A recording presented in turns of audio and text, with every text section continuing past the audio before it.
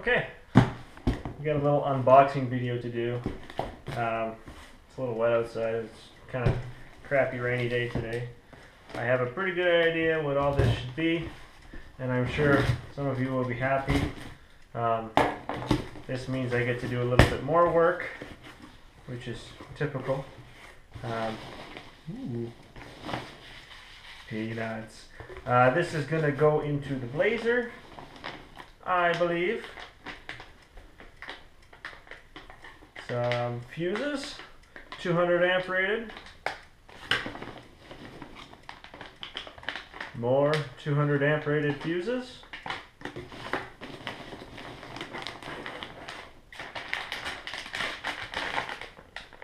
This is a two pair. Oh, it's open. Okay.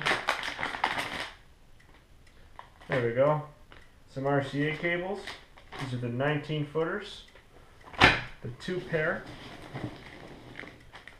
Ah, right on. This is my hideaway antenna to replace the uh, lack of antenna in the Blazer because I removed that when I changed the fender. I never cut a new hole to actually make it seat properly.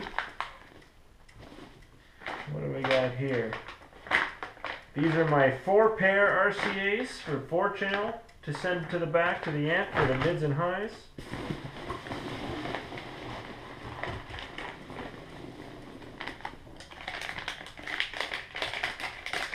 Perfect.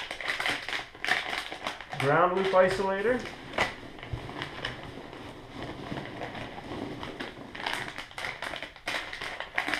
Ground loop isolator.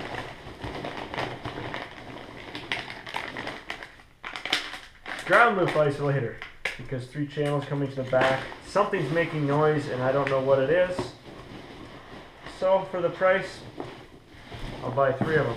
I'll put one on each channel if they don't interfere with one another. I think that's it. I don't dare dump the box out. We should be all good. Now we get to put it all together.